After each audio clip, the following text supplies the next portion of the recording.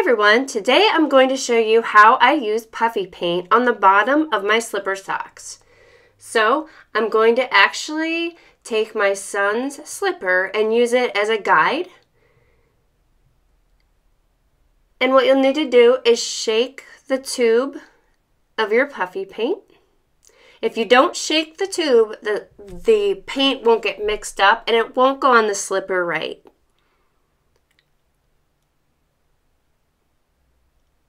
So gently squeeze the bottle. And what you want to do is make sure your dots are kind of flattened. So when you're placing them on the slipper, just kind of press them down. You can also make bigger dots if you'd like. Um, you can use a Q-tip to press it down. And I'm just kind of going around the edges if you don't have another slipper, that is okay. Just place it how you want on the bottom of the sock.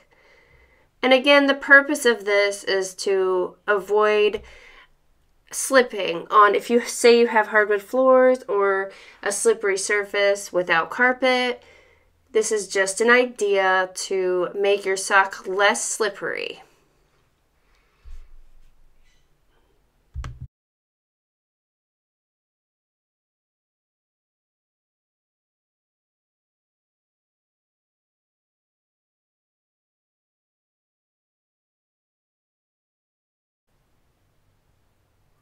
As you can see, my dots aren't perfect, but they don't really need to be. You can do it big, small, however you want. I have a few small ones here to show you, a few big ones, and like I said, you can take a Q-tip if you want and place the ball that way, the little dot, place it that way. But I'm just using the tip of the paint, and that seems to be working out okay for me. So just continue doing that where you want. And after, on the bottle, it says to let dry for four hours. I recommend leaving them dry overnight. So I'm going to come back in the video after I've let my slipper socks sit overnight with the puffy paint on and I will show you what it looks like. I bought this puffy paint at Michael's and it wasn't even $2. I think it may have been like a dollar fifty. And they do have different colors, so you don't have to get black. And it's made by Tulip, and it's Tulip Puffy Paint. So again, I will come back and show you what it looks like after sitting overnight.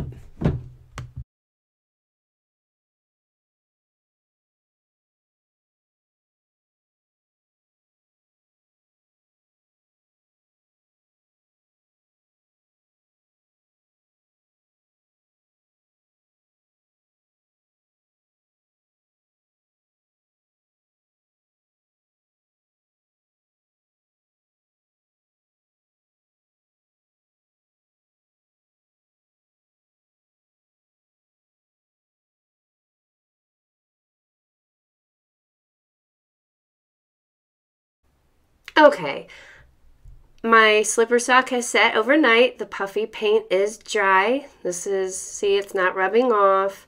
And it creates a rough surface. So I hope this video has been helpful. If you like, please give me a thumbs up and I will see you at the next video.